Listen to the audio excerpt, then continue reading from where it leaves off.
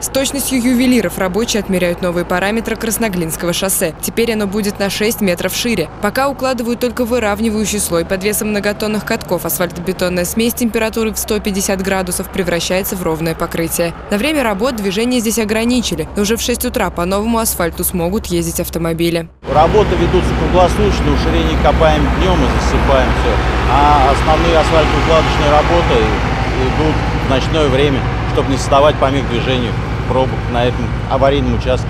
Работы по укладке выравнивающего слоя планируют закончить через месяц. В целом же комплексный ремонт Красноглинского шоссе завершится в следующем году. Ширина проезжей части составит 16 метров. В каждую сторону будет по две полосы движения. Также здесь оборудуют тротуары, проложат ливневую канализацию, установят уличное освещение. Такого масштабного обновления на Красноглинском шоссе не было как минимум 10 лет. Сегодня его приводят в порядок по федеральной программе «Безопасные и качественные дороги». Вполне 50-60 э, тонн э, будет проходить, и думаю, что ничего страшного не будет в течение гарантии дальше. То есть конструкция очень хорошо усиливается.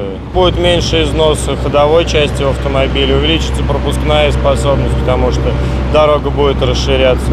Надеюсь, что будет меньше пробок. Всего в этом году в рамках проекта «Безопасные и качественные дороги» в Самаре отремонтируют свыше 40 улиц. Общая стоимость работ составит более 2 миллиардов рублей. Алина Чемерис, Василий Колдашов. События.